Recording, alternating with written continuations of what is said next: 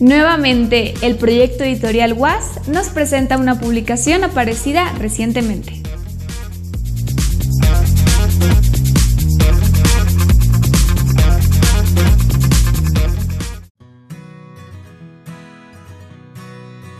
Hola amigos de Multiverso WAS, es un placer y un honor estar con ustedes de nueva cuenta, eh, dando a conocer una nueva producción de la Universidad Autónoma de Zacatecas del doctor Roberto Carrilla Costa, que en coordinación con la doctora Irma Fabiola Castillo Ruiz nos presentan el patrimonio cultural y la identidad zacatecana. Doctor, ¿por qué no nos platicas un poco sobre tu libro, por favor?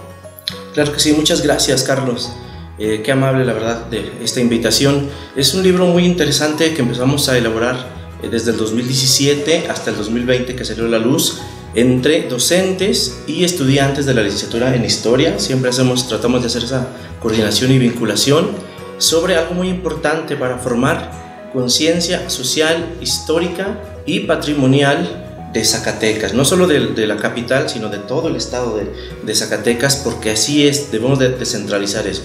Eh, trae eh, temas muy variados sobre patrimonio gastronómico, inmaterial, edificado y cultural que le va a interesar de seguro a, todas nuestras escuchas.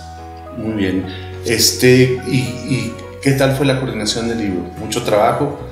Sí, sí, la verdad que sí, implica, implica bastante tiempo, trabajo, eh, eh, dedicación, la verdad.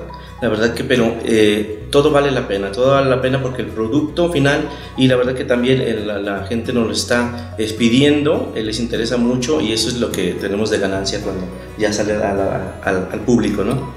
Por cierto, que se agotó rápidamente, ¿no? sí. Sí, muy rápido, exactamente. Ya cuando quisimos este, eh, difundirlo, regalarlo, me decías que, que, se habían terminado pronto. Habían terminado. ¿Material didáctico también? Sí, por supuesto, eh, de cajón, de cajón didáctico para historia, para turismo, para las ciencias sociales, pero sobre todo también eh, para la vida cotidiana ¿no? de, de, todos los, los, ciudadanos de Zacatecas. Excelente. Pues muy bien amigos, este, ahí tienen ustedes en voz del propio autor el contenido del patrimonio cultural y la identidad zacatecana. Si están interesados en adquirir un ejemplar, eh, pónganse con nosotros en contacto en la página de Facebook del programa editorial UAS. Tenemos todavía algunos ejemplares y pronto saldrá este, a la luz la versión digital. Muchas gracias.